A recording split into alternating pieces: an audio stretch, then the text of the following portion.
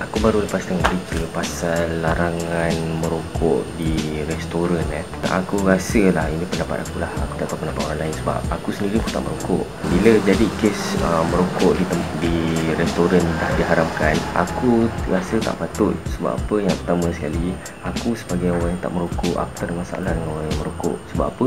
Bila aku nampak orang merokok dan aku rasa aku tak selesa, aku belah on the spot tiada masalah pada aku. Sebab apa? Aku yang kawal diri aku. Aku tak boleh kawal orang lain. Pada aku tak payahlah nak buat benda ni. Dalam masa yang sama kalau pengusaha restoran uh, tak suka perokok masuk kedai dia dia boleh halau. Tak ada masalah. Pada aku itu bukan masalah besar. Masalah besarnya bila kita tak boleh nak kawal diri kita dan kita menyalahkan orang lain. Itu saja